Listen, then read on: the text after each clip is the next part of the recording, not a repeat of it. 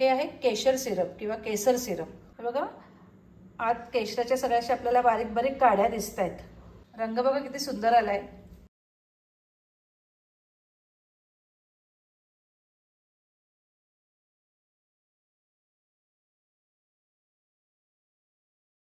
हे बघा दुधाला किती छान कलर आलेला आहे. अगदी केशराचा असा लाइट छान कलर त्याला आलेला आहे. तुम्ही मसाले दुधात सुद्धा सिरप घालू शकता.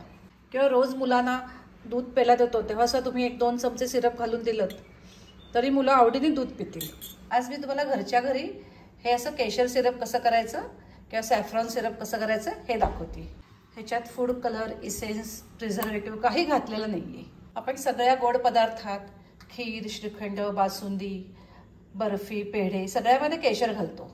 किंवा सरबत करतो मिल्कशेक करतो सगळ्यामध्ये केशर घालतो. कारण केशर घालायचं असेल तर केशर आपल्याला थोड्या वेळ भिजवायला लागतं. आणि कधी कधी घाईच्या वेळेत आपल्याला ते जमत नाही. अशा वेळी तुमचं जर हे केशर सिरप तयार असेल तर तुम्ही कधीही पदार्थामध्ये लगेच घालू शकता. हे करायला सुद्धा अजिबात वेळ लागत नाही. तसंच हे आपल्याला खूप दिवस पुरतं. तुम्ही नुसतं केशर घातलं तर त्याचा आपल्याला अंदाज येत नाही. ते कमी जास्त होतो. सिरप तुम्ही तुम्हाला हवं तेवढं घालू शकता. नमस्कार. श्रेयस रेसिपीमध्ये आपलं सगळ्यांचं खूप खूप स्वागत आहे. तुम्हाला माझा व्हिडिओ आवडेलच तेव्हा माझ्या व्हिडिओला लाईक करा शेअर करा. जर तुम्ही अजून सबस्क्राईब केलं नसेल तर प्लीज सबस्क्राईब करा. बेल आयकॉन प्रेस करा. तर असं हे केशर सिरप कसं करायचं ते आता बघूया. केशर सिरप करतोय. त्याच्याकरता इथे अर्धा ग्रॅम केशर घेतलेलं आहे. चांगल्या क्वालिटीचं केशर घ्यायचं. त्याच्यामध्ये थोडं गरम पाणी मिक्स करते. आता हे तीन चार तास असंच आपल्याला ठेवून द्यायचं आहे तो सगळा केशराचा अर्क ह्याच्यात उतरेल. आणि त्याच्यानंतर सिरप करूया. चार पाच तास झालेले आहे केशराचा रंग आणि केशराचा स्वाद सगळं ह्या पाण्यामध्ये उतरलेलं आहे. चांगल्या क्वालिटीचं केशर कसं ओळखायचं? जर तुम्ही केशर एक चिमटभर केशर पाण्यात मिक्स केलं आणि लगेच रंग आला तर समजायचं ते चांगल्या क्वालिटीचं नाही आहे आणि हळूहळू रंग यायला लागला तर ते चांगल्या क्वालिटीचं आहे. त्याला केशर सिरप करायचं आहे.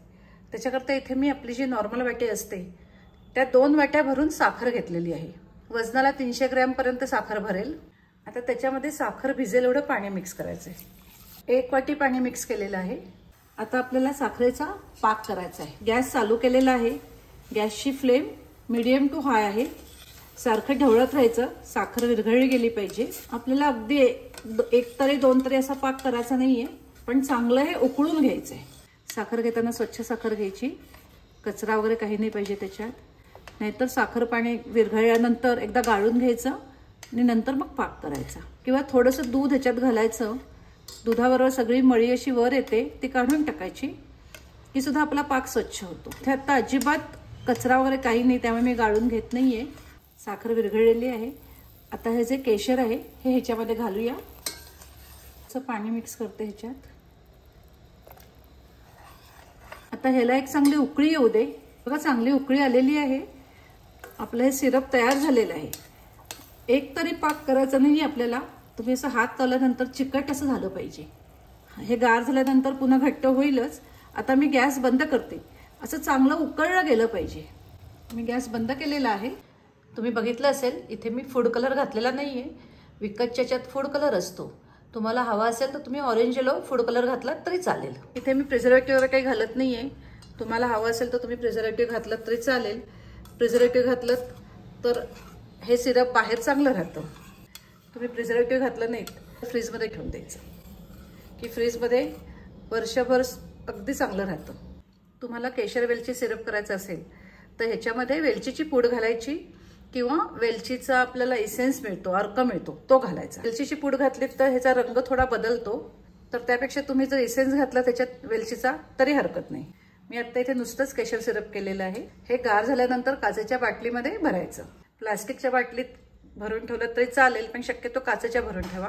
हल्ली केशर सिरप मिळतं त्याच्यामध्ये चांदीचा वर्ख घातलेला असतो. तुम्हाला हवा असेल तर तुम्ही चांदीचा वर्खसुद्धा ह्याच्यात घालू शकता. गार झालेलं आहे.